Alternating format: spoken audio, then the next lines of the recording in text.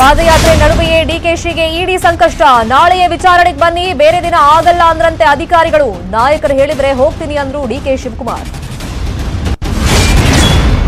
ಗಾಯಾಳು ಆನೆಮರಿಗೆ ಅಗತ್ಯ ಚಿಕಿತ್ಸೆ ಕೊಡಿಸ್ತೀವಿ. ರಾಹುಲ್ ಗಾಂಧಿ ಪತ್ರಕ್ಕೆ ಸಿಎಂ ಸಕಾರಾತ್ಮಕ ಸ್ಪಂದನೆ. ಪ್ರಾಣಿಗಳ ರಕ್ಷಣೆಗೆ ಪಕ್ಷ ಮೀರಿ ಪ್ರಯತ್ನ.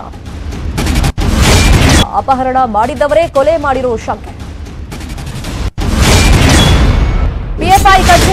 ಮೆಟಲ್ ಡಿಟೆಕ್ಟರ್ ಯಾಕೆ ಇಟ್ಕೊಂಡಿದ್ರು ಅನ್ನೋದೇ ನಿಗೂಢ. ಪೊಲೀಸ್ ತನಿಖೆಗೆ ಬೆದರಿ ದೇಶ ಬಿಟ್ಟಿದ್ದಾರಾ ಅಳಿದುಳಿದ ಪಿಎಫ್ಐ ಕಾರ್ಯಕರ್ತರು?